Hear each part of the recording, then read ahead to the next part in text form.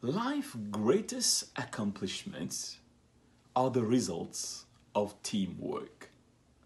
This is true for family life, academic, sport, work, and church related achievements.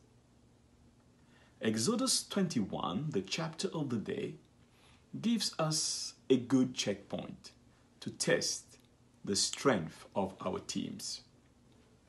This chapter provides a list of rules for coexistence. I was attracted by one particular regulation.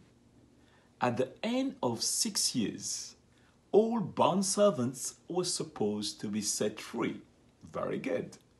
However, a bond servant could choose to remain with his master. We read in verse 5 and 6 But if the servant declares, I love my master and do not want to go free, then he will be his servant for life. This is an example of a team member choosing lifelong loyalty and commitment. Strong team, you will agree. Dear friend, think for a moment that you are in charge of a given company with several people working under your command. Reflect on how you would deal with your coworkers. Then ask yourself this sincere question. If they have a chance to work for another boss, would they choose to remain with me?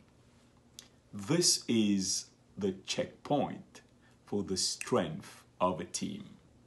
I believe that quality relationships and fair treatment would influence their decision. It's time for introspection.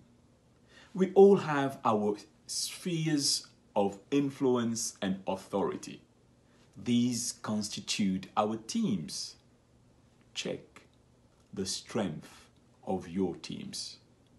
Would they choose loyalty and commitment, even if they have an opportunity to leave. It will all depend on how you cultivate relationships and practice fairness. Grow your team and be successful.